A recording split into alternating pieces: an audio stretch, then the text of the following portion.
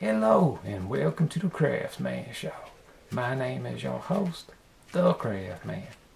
Today we're finna talk about 3D printing. Oh ah, snap! Craftman done gone crazy. Y'all, Craftman has never used a 3D printer in my life until just the other day. And now I done gone crazy with it. In this episode, we're going to talk about 3D print, resin base. How that you can get the finest details that you probably cannot believe but might be able to, and you can do it affordably. In addition, we're going to be seeing how well the Elegoo Mars goes up against the Anycubic Photon S. Today's episode is brought to y'all by Synthesizer.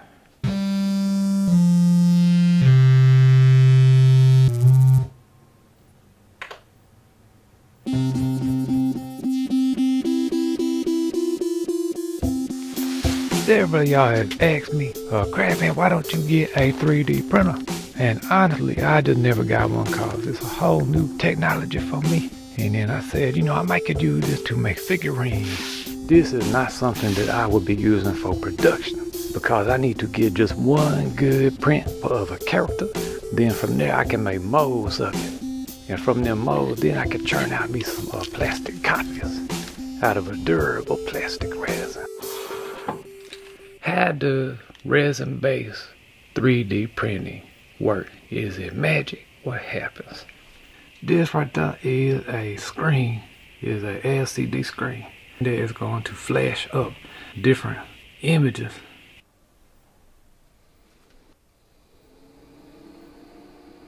So right now this is liquid, but if you expose it to UV, it's going to cure, all right? So, you know, let's say you got your little thing that you're going to be uh, 3D printing. So when it's going to print the uh, feet, that screen, it might show two circles like that right there. All right. And then it's going to work up, up, up, up. And then when it gets to that body, it might just be flashing a light. There's just a circle in the middle. And then it might get to this part. And it might be a shape like that right there. That slides up and down the first couple few layers is going to stick to the bottom of this. It's going to move up. You know what I'm saying? And it's going to basically pull the object up out of this. Um, if you're thinking about 3D printing, probably what you're picturing is FDM, aka Fusion Deposition Modeling. They take a roll of what it looks like to me a weed eater string and then feeds it through a tip and that tip moves around in 3D, uh, 3 axes melts it out in the layers, and then it builds up a 3D model. And this is the biggest free range chicken I got. Thanks to my buddy I Rob for sending me this one uh, off his uh, obviously big 3D printer. Uh, resin base works by using UV light to cure very thin layers or slices of resin at a time. So here we go. We about to set things up. This is the Anycubic Photon S, the very first 3D printer that I ever have touched in my life. I ordered this one off Amazon, and this was not my first choice. It was my second choice. The one I wanted to get to begin with was out of stock, but it's very, very interesting what happened about that. With these resin 3D printers, you got to level the build plate. That's the build plate right there. The first time I did it, I did went with the instructions in the uh, manual and use a piece of paper like they said. Lower.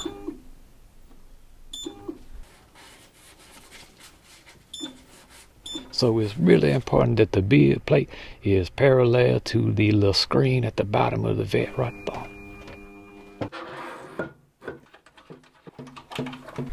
Y'all probably already noticed that I got gloves on today. Gloves are going to be real, real uh, important when handling this. This is not something that you want to be contacting your skin. All right. Instructions say to fill the vat about a third of the way with uh, resin, so I kind of did that. I installed the little software that came with the thumb drive, the USB drive, but it gave me a black screen, and that was kind of frustrating. But I did some little uh, reading up on it and learned about the little thing called Chitubox Am I saying that right? Cheap Tube Box? Anyway, Cheap Tube Box is free and it can also export right out to Anycubic Photon S format as well as uh, other little formats. This model right here was scanned by Art Lab 3D print and uh, that's my buddy Benjamin up in Kentucky and he sent this to me STL format, stereolithography format. So I scaled it down to a small size and I said, you know what, if this thing can print things this small and keep that smoothnicity of details, then that means it can print big things just better, even good too. So I saved it to a USB. And this came with the uh, 3D printer, by the way. You gotta do it one way, and then you do it the other way. Let's see. Print.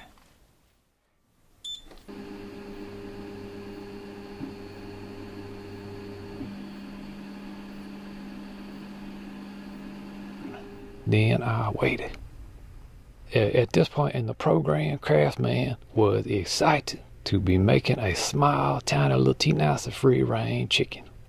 My excitement was gradually turned into not excitement. This is very disappointing right here. As you can see, there is no uh, little free range chicken stuck to the bottom of the build plate.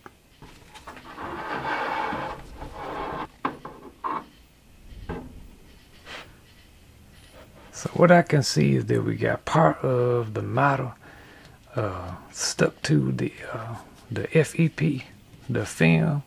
So what I'm going to do is to take this little screen, this little filter that came with it, and then filter this back out.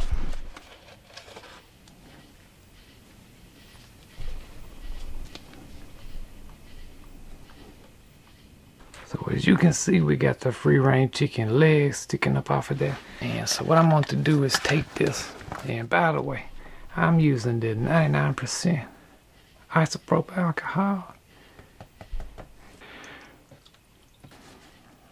You know.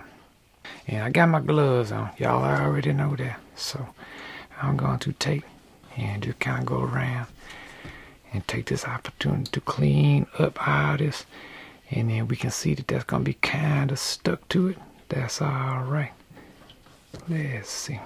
I'm going to take my other hand here and see can I pop this thing up just a little bit? There we go. And see that? And that popped up without having to get in there and scrape it. Keep that thing flat. Not like that not like that. You don't want to jab a hole. At the bare minimum you would want to keep your little fingers up underneath this for support but we got that off of there. But man, that was gonna be pretty neat right there. You know, hey, we gonna learn some things doing this. And instead of uh, editing all this out, I'm just gonna leave it in here and show y'all that the craft man messed up on this one. And let's see what we can do to maybe fix this. So I posted on Facebook uh, looking for some suggestions, some help and several people reached out to me and I learned some things on how to deal with that. But anyway, posting online led to a really, really big thing called Elegoo sent me a message. Craftman, we got the Elegoo Mars in stock. We want to send you one. I said, that's interesting because that's the company I originally was going to go with. The reason why, because it is cheaper. And I was very grateful that they was going to send that to me for free.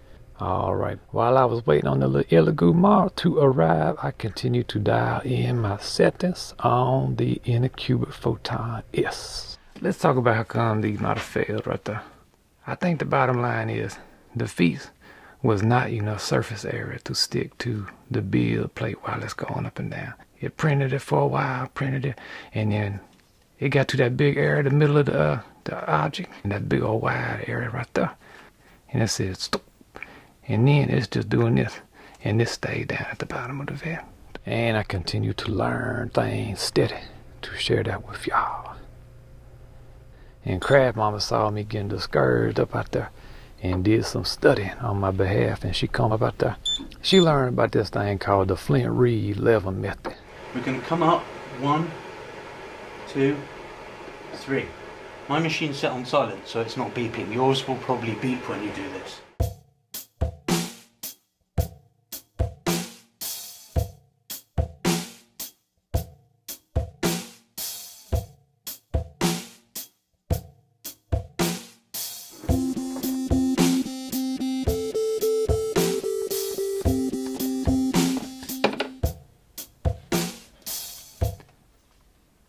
I had the little Chitubox make me a raft. All right, that's what that's called.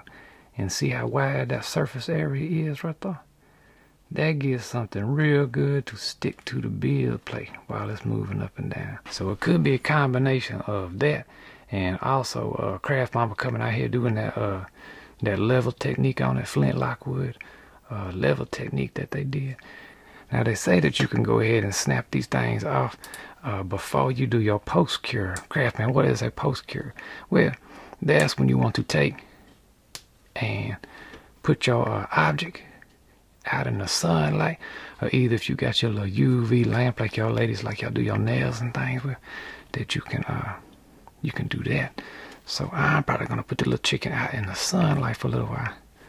And maybe Craft Mama will let me get a little uh, curing lamp or something. Let's see. What do y'all think about this? Oh.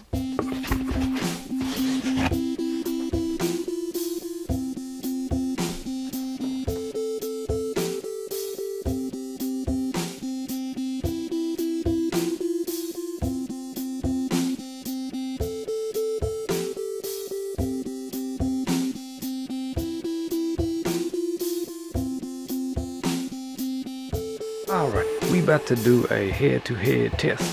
The settings is the same for both of these. The layer size, the height, the exposure times and all that. It's really just going to be to look at the final print and see what the quality is, if there's any difference between them. For the resin, I'm going to use the resin that I've been using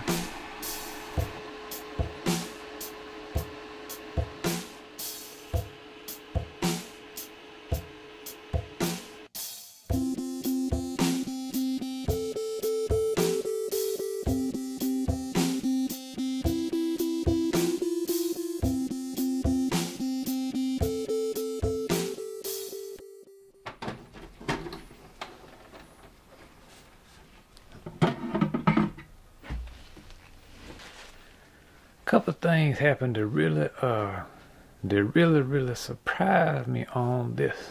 Uh the Elegoo uh, Mars completed quickly. How come is that craftman went into this thinking that there was gonna be no difference in speed because I used the same settings on that one same settings on that one.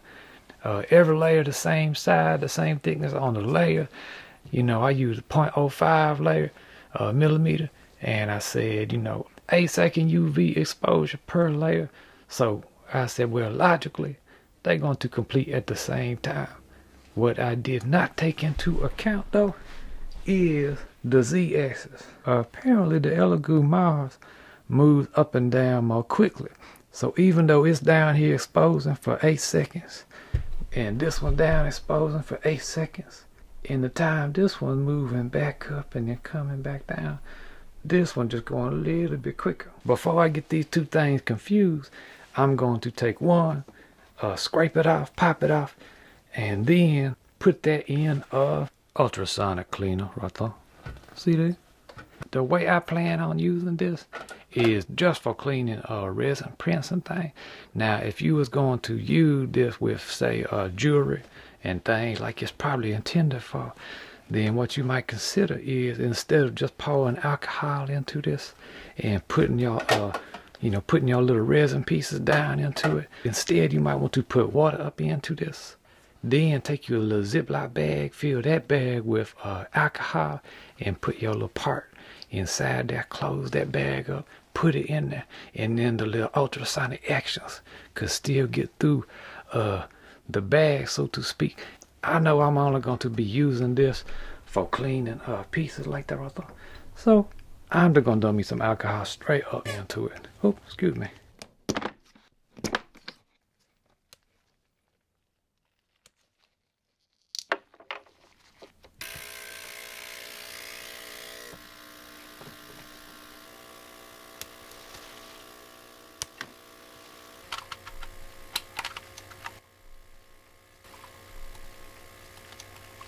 There's something happening here.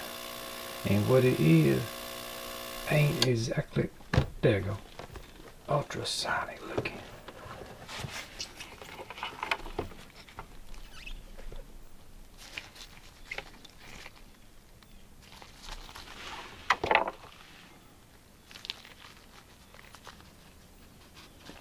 Alright, I'm gonna let the uh, rubbing alcohol evaporate off of that there's a pretty good price difference between the two units right there. Because of that, I expect that there would be some difference in quality of the final prints. So I was very surprised that not only did uh, this one print faster, also it just looks, to me, looked the same. Had I gone with that one to begin with, I would have saved money.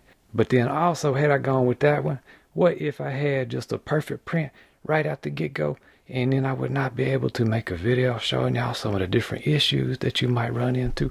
And by the way, the issue that I encounter with this right there is not just because of that particular unit. That's a good unit. If you got that one, hang with it. It's a good unit right there, the Photon S. What I ran into, you could run into with any 3D printer. Also, if I get to having some more problems with it sticking, I'm going to try that right there.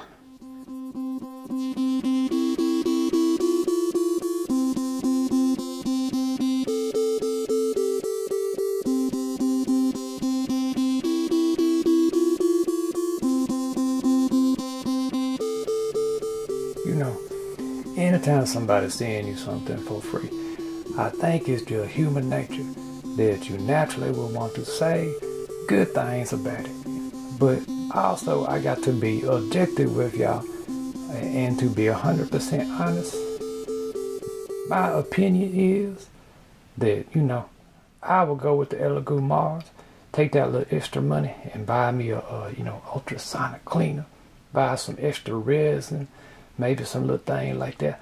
As far as one advantage that I have noticed with the Photon, this one right there is definitely a lot quieter than that machine right there.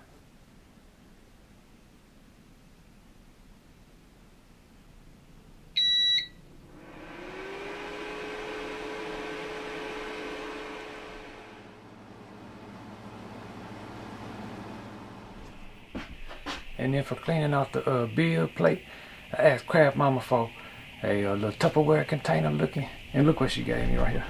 Look at this.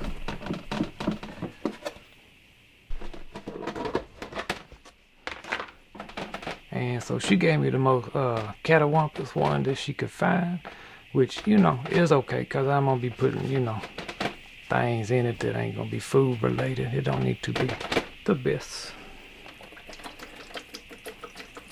How long your print is going to take on a 3D uh, resin-based printer is only determined by the height. All right. So whatever the height is, that's how long it's going to take.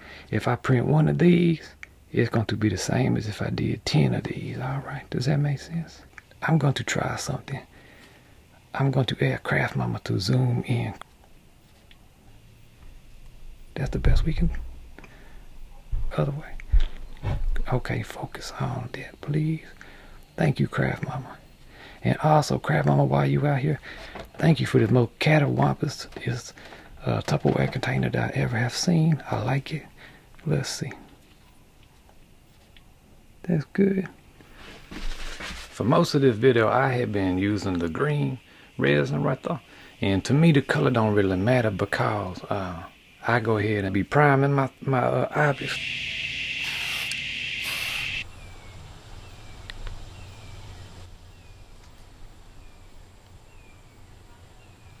you know, I'm just trying to make a little prototype.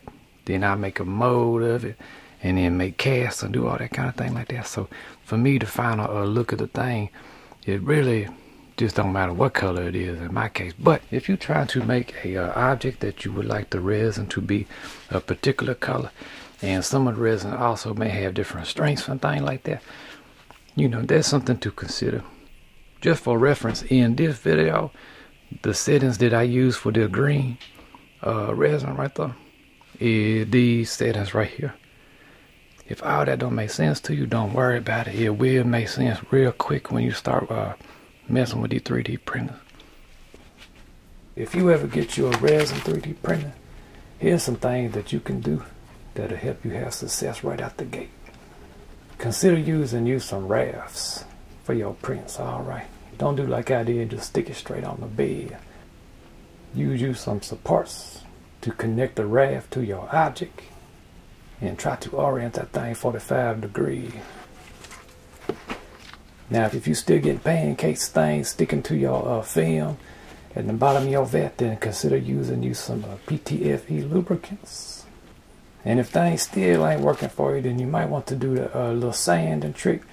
Uh, I have not done this yet, but all you basically do is take you some sandpaper. Uh, I wouldn't go no more coarser than 220 grits.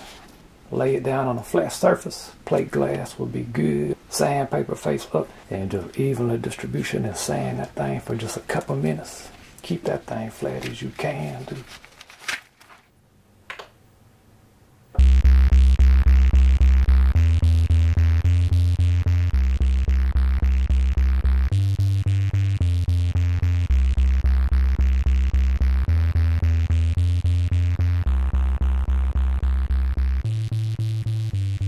Y'all so much for looking at this video. And uh, if somebody had you upset then do not let the sun go down on your anger but go to them and y'all uh, split a sandwich and drink something good. I love y'all and keep steady crafting